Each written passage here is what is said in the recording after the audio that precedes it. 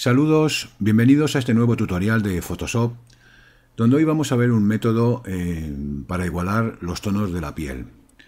Un método bastante efectivo y que suple al que normalmente se viene, se viene usando cuando nos vamos a imagen, ajustes, igualar color. Vamos a emplear otro método que es mm, muy efectivo y muy sencillito. Y quizá también sea bastante, desconocidos para, bastante desconocido para la gente que utiliza Photoshop. Vamos a ver cómo, cómo se utiliza este método. Voy a quitar la capa de fondo. Veis que tengo estas dos imágenes abiertas, cada una con un, con un tono distinto. Vamos a suponer que quisiéramos eh, cambiar el tono de la piel de este niño eh, por el tono de la piel mm, de esta señorita. Vamos a, vamos a ver este método. Nos iríamos primero a la capa, la capa del niño, hacemos clic, veis que tengo dos ventanas, que esto, se, hace aquí en organizar, eh, segmentar todo en vertical, y entonces mm, divide la imagen en dos partes para que la podamos ver. Nos vamos a ir a nuestras capas de relleno y ajuste, y en este caso de curvas. Fijaros que cuando abrimos el panel de curvas, eh, está activada la capa, eh, la máscara de capa. Queremos que esté activo la miniatura. Así que pinchamos sobre la capa y veis que tenemos eh, ya seleccionada eh, lo que es la capa principal, no la máscara de capa. Nos vamos a venir a este botón y vamos a hacer doble clic. Y fijaros que se nos abre una ventana que es un selector de color que dice color para iluminaciones de destino. Aquí lo que vamos a hacer, mm, podríamos cambiar el tono, pero queremos eh, tomar el tono de, esta cara y aplicárselo a la de este niño. Así que veis que nos sale un puntero. Vamos a seleccionar un área, pues por ejemplo eh, este tono, clarito, y hacemos clic. Y fijaros que automáticamente se nos marca y le damos OK.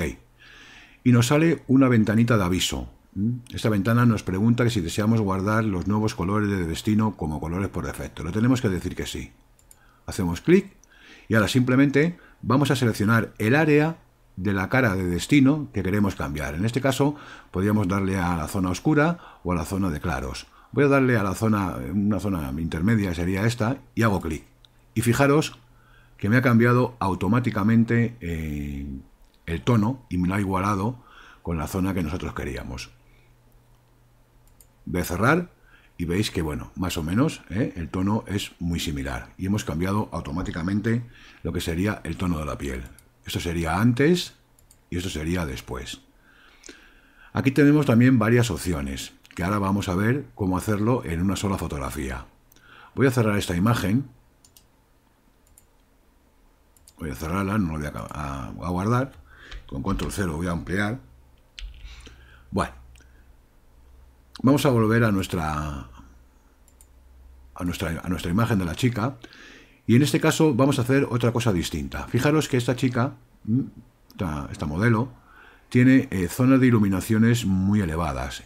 Y yo, pues bueno, pues quisiera igualar estas zonas con el resto de, la piel de su cara.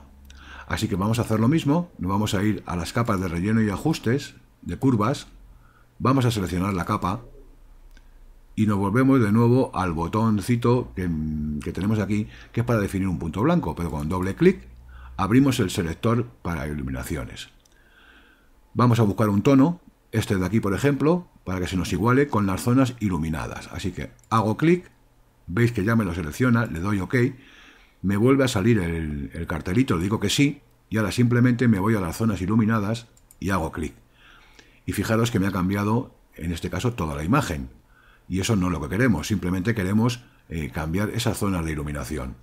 Así que nos vamos a ir a la, máscara de capa y con control I la vamos a invertir. Vamos a coger un pincel con el color frontal en blanco y el de fondo en negro, una opacidad de un 20 o un 21 y vamos a coger un pincel difuminado. Y ahora simplemente vamos a cambiar esas zonas. Fijaros bien que yo hago clic y como ya lo oscurece y me va igualando el tono de esa iluminación. Voy a hacer aquí lo mismo, hago clic y simplemente, fijaros, voy a hacer varias pasadas, que estoy igualando esa zona iluminada que no la quería tan iluminada. Hago aquí lo mismo y aquí lo mismo. Voy a abrir un poquito más el pincel aquí y voy a ir retocando esas áreas donde yo no quiero tanta iluminación. Y aquí tendríamos nuestra imagen, fijaros que si quito la vista, eso es con la luz y esto es con el tono igualado. Veis que es una forma muy sencilla y sobre todo muy efectiva de cambiar los tonos eh, de una imagen e y igualar los colores. Y esto ha sido todo por hoy. Espero que os haya gustado. Un saludo y hasta el siguiente tutorial.